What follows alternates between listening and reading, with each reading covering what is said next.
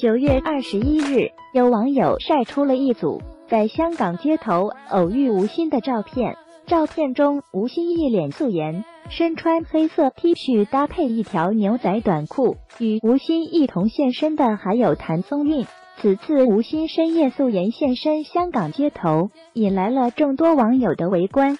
当他听到周围人夸赞自己很美的时候，还以微笑回之，非常亲切。网友们看到照片后，纷纷夸赞吴昕颜值高就是任性，素颜最能看出一个人的颜值。吴昕太美了，吴昕搞怪本领强，和棒棒糖一起卖萌。作为快乐大本营的主持人，吴昕拥有众多粉丝的支持，而一向清纯可爱的吴昕，做出各种搞怪的表情。吴昕在《爱神》中与洪天明的一场约会上，尽显搞怪本领。吃着棒棒糖，卖着萌，直接秒杀了不少宅男。